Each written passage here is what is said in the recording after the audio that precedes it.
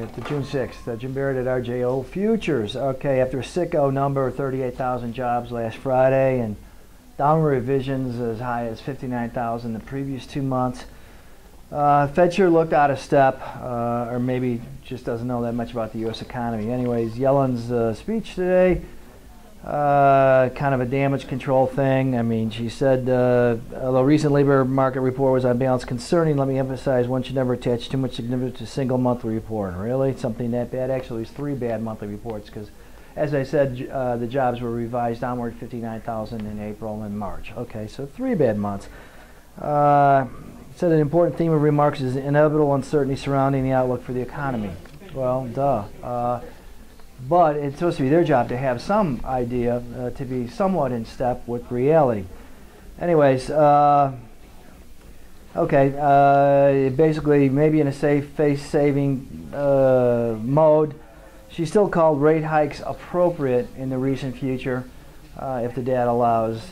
June, I think you can roll out. July, if the if the Brits don't decide to leave the EU and the vote in two weeks, uh, you know, maybe there's a possibility these numbers do turn around. It seems pretty unlikely. Uh, but of course she's going to say that so they don't look, you know, completely out of step.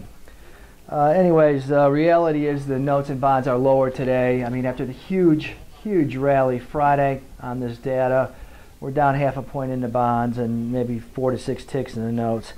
Uh, the reason for that probably is because S&Ps are pushing new highs for the year. I mean, uh, uh, the stock swoon back in January, February is uh, just a distant memory, and, and we're not far from all-time highs. In fact, uh, I believe we're up 12 points or so in the S&P as we speak, uh, and uh, obviously it puts a little pressure on the on the bonds in the sense that money is also going into the stock market clearly.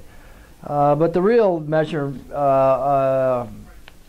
the bonds are up against, or the, what the bonds got going for them, I should say, is the the German 10-year Bund is approaching new all-time lows of like 0.73%.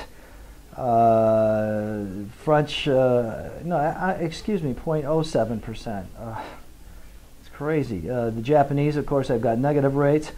UK, uh, one and a quarter. So, so the U.S. rate around 165 here in the tens, for instance, is going to attract some interest regardless of what the stock market is doing.